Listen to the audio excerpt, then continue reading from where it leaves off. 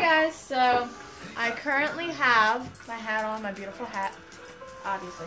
Okay, I'm gonna count all these and show you that I have 27. So I have 2, 4, 6, 8, 10, 12, 13, 14, 15, 16, 17, 18, 19, 20, 21, 22, 23, 24, 25, 26, 27. So I have 27.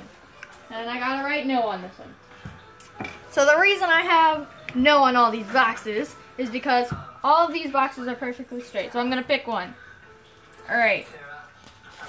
Fits perfectly, but I gotta, you know, I gotta adjust. I gotta put it in there perfectly. Um, so all these are no because I'll show you, blah, blah, blah, da, da, da, da. So if I try to put it in there perfectly, it's gonna hang out a little bit. So I don't use it. And this is just a little scrap piece of paper that I had left. So I'm gonna use it. And I used it wisely to make 27 of these. So, voila.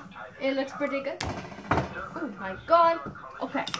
So, I'm gonna start by doing my measurements and try to find my protractor if I can. I don't know.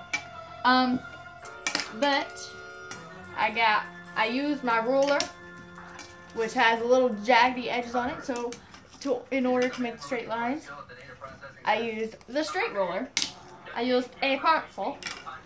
I used, well, I didn't use it yet.